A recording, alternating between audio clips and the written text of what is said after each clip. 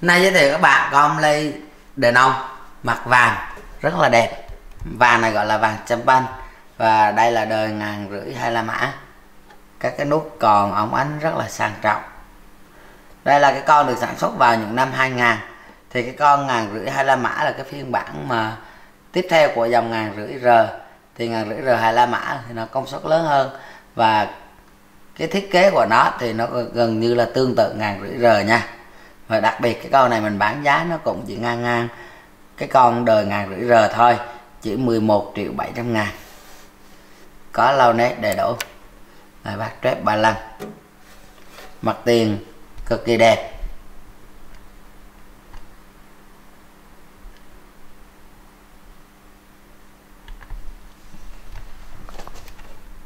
Con này thì nó rất là phù hợp với bạn ghép với bên đất tanoi các cái dòng loa cây hoặc là loa Nhật Bản thì chúng ta ghép với Pioneer Onkyo. Bây giờ mình mở sẵn cái nắp ra đây này.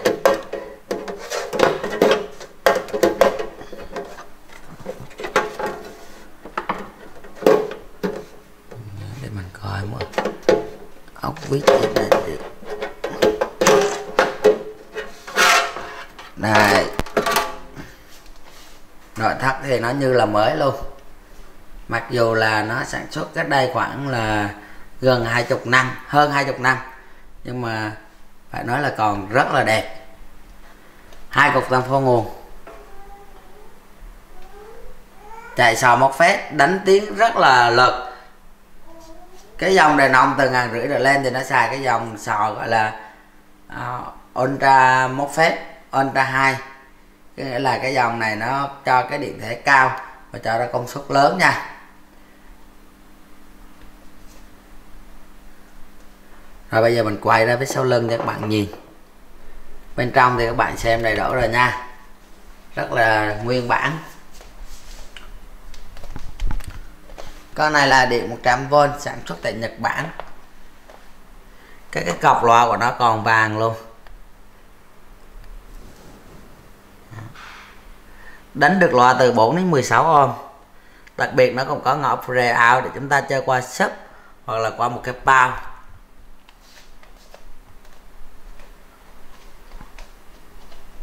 rồi, bây giờ mình test nhạc luôn nha. Các bạn có nhu cầu hãy liên hệ mình. Giá là 11 triệu 7 bên mình có bát USB và ổ cứng chép sẵn nhạc một cái USB là 128 g 800 ngàn. Còn một cái ổ cứng là 1 ngàn g 2 triệu. Bây giờ mình đẩy nắp lại và mình test nhạc luôn.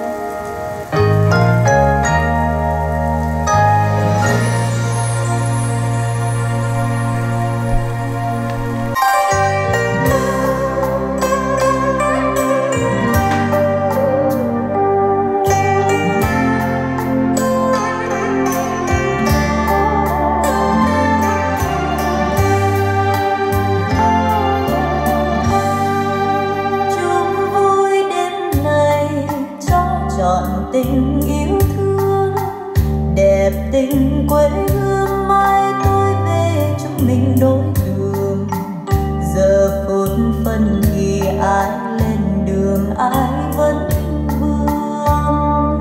Mình thương thương nhau trong đời, thương nhau trong lời yêu nước Việt mà thôi. Xin nhớ